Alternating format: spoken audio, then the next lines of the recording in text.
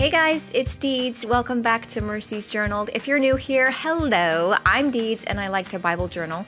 I also like to creatively experiment and try to encourage people to try and experiment new things. And today it's something that I've done a few times, but I wanted to work with these stamps and these distress oxides to produce journaling cards. This is what I call mass production of journaling cards. And what I do is I just take this humongous sheet of art watercolor paper and I scribble on it, I stamp on it, I color it up, eventually to cut it up and then turn into individual journaling cards, things that I can slip into my own Bible, into a loved Bible for somebody else, or as an encouragement card for somebody going through a hard time or somebody who needs a little bit of a good word.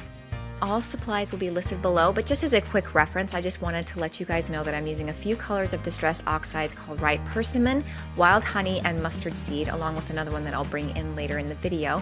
And then the stamp set that I'm using is called Life and Lemons by Sweet and Sassy Stamps.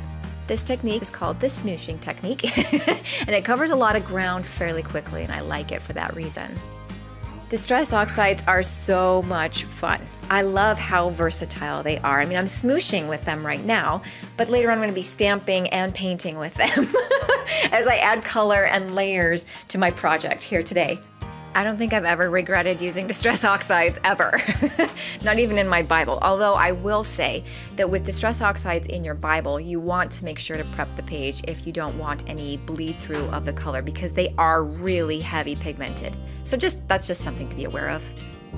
The Life and Lemon stamp set is created by Rebecca Rios, and I love it.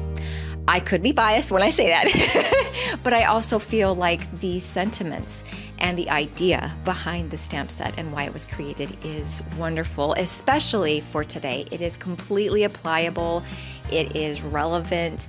If you know someone who is struggling, which we all do, or if you are someone who is struggling, which most of the time we are with something, then this is the type of thing that you can put on a reminder card or an encouragement card or a journaling card of any kind as a memento and as a reminder that, hey, life is hard. And life does toss at us these very sour times, these very harsh moments, these times of suffering, of struggling, of loss, of disease, divorce, you name it.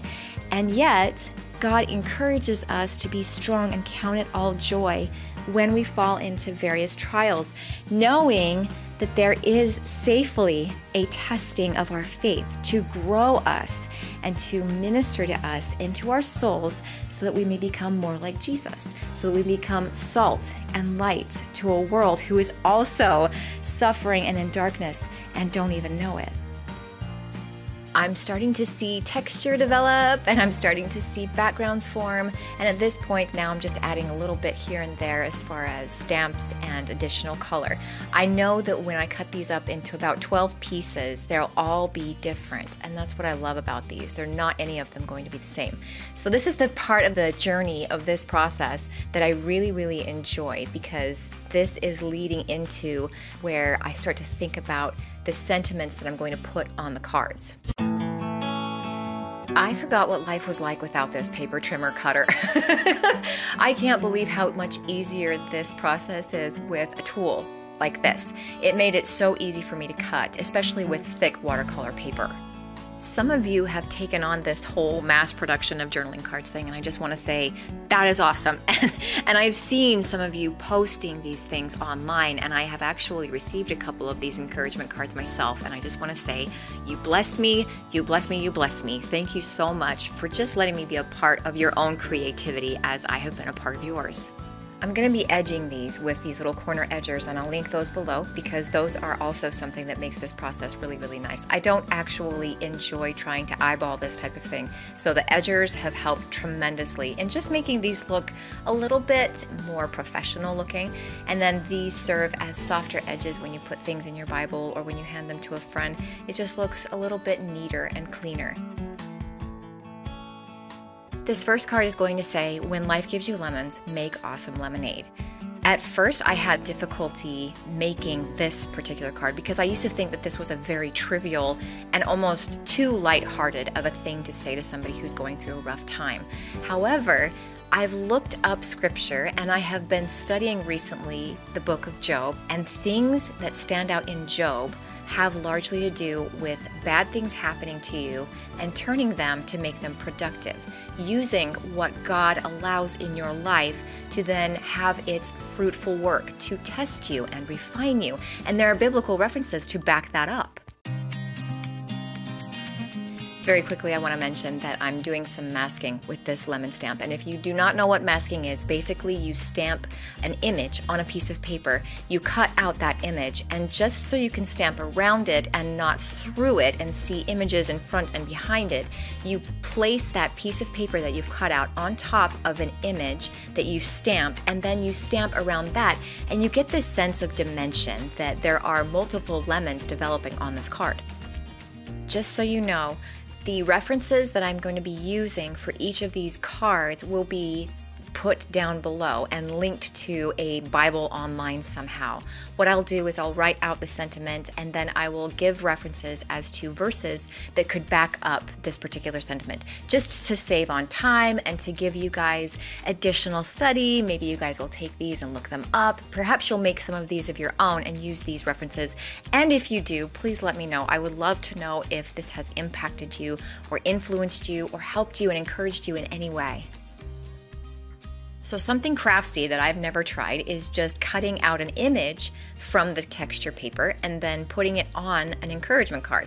So I've taken a piece that I've cut, stamped down the bottle image with the ice cubes on the inside, and I'm gonna cut this out, put it on the encouragement card, and that will just add a little bit more craftiness to it. It'll add a little bit more dimension and color and just some interest. That's something that I've never done, and so I decided to try that one today.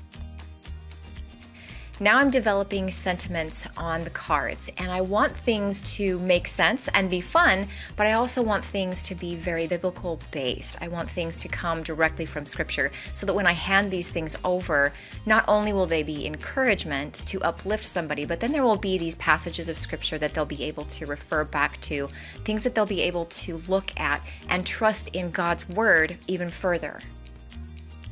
This next card is simply to say, thank God, y'all. And you really do have to say it like that. Thank God, y'all, because there is no messing around when it comes to a Southerner and her sweet tea. Can I just say, down in Savannah, Georgia, this last April, I had the pleasure of going to a creative retreat. And no joke, sweet tea is the drink. It is coming to you in gallons. It is served to you as though it were water. And as long as you have sweet tea, you are part of the folk, y'all. But the biggest thing about that one is just being thankful because even when times are tough and even when things go awry, when they are less organized or seemingly out of control, just know that you can thank God because, first of all, He is in control. And secondly, you can trust this God who is working everything for your good and for His glory. There are so many scriptures that back up the essence of God's glory and His being for Himself and also for our good, for our future, to have a hope in this life, for the afterworld, and even now. When life gives you lemons, just add sugar. That's the next sentiment that's going on this card. The reason why I'm using this is because it's supposed to be an encouragement to still be the sweet aroma of Christ even amidst your trying circumstances. I understand how hard things can be, and you don't want to be kind, and you don't want to be patient, and you don't want to have the fruit of the Spirit residing in you emulating from you. You don't want to be radiant with sweetness when things are so sour and bitter, but we are commissioned, we are to be that sweet aroma of Christ to the world.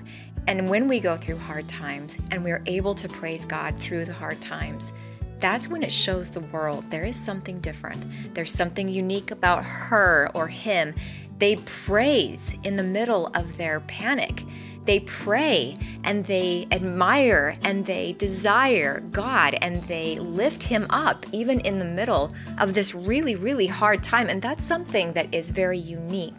It's something that you probably will most likely find only in somebody who is walking with the Lord steadily through their trying circumstance. So that's why I decided to use this sentiment to encourage and exhort somebody who is going through a hard time. Hey, keep on keeping on. Maintain that sweet attitude, be that sweet aroma of Christ. Quick on the heels of that one, then, would be count it all joy, y'all, because I couldn't resist using that y'all stamp. I love it. But I'm sure that we've heard the phrase count all joy. It's in a couple of places in Scripture. James is one of them, and he's speaking of the testing of our faith. We belong to a God of wonders. He's our daddy. We have a father, and we can trust him and lean into him and come closer to him, especially during these hard times.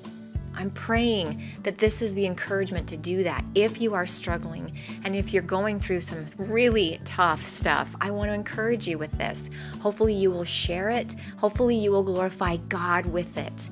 Make lemonade, add sugar, and then thank God, y'all. Much love. God bless.